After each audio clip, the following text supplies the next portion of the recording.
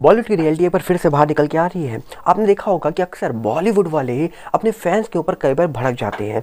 सलमान खान हो, John Abraham हो या फिर गोविंदा हो, सब अपने फैंस के ऊपर कहीं ना कहीं भड़के ज़रूर है, और किसी ने तो थप्पड़ लगा दिया फ़ैन को तो किसी ने धक्का दे दिया, किसी ने फ़ोन छीन लिया, पर आज एक शख्स ने अपने ही फ़ैन का फ़ोन उठाकर फेंक दिया।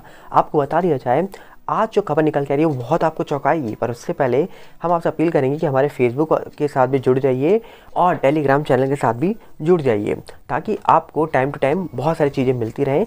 लिंक डिस्क्रिप्शन में है, नाम दोनों के यहाँ पर हैं, जाइए और जुड़ जाइए।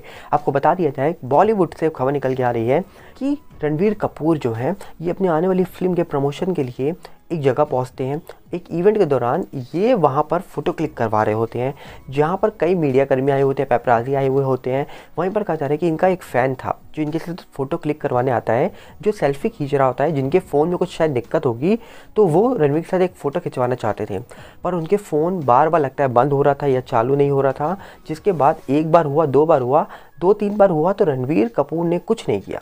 उनका फ़ोन पकड़ा और पीछे करके फेंक दिया। मतलब ऐसा बिहेवियर किया गया है अपने फैंस के साथ तो क्या ये एक्सेप्टेबल है?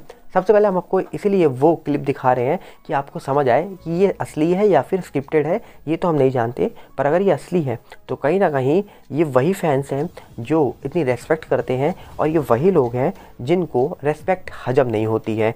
तो अगर ये कोई स्क्रिप्टेड है तो तो अलग बात है, अगर ये स्क्रिप्टेड नहीं है तो ये बहुत गलत बात है। आपको क्या लगता है?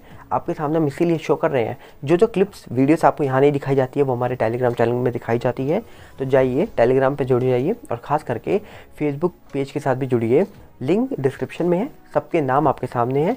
हम आपसे अपील करेंगे कि जाइए और जुड़ जाइए। मिलते हैं बहुत जल्दी। नमस्कार। जय हिंद। बॉलीवुड की रियलिटी जानने के लिए जुड़े रहिएगा चैनल के साथ।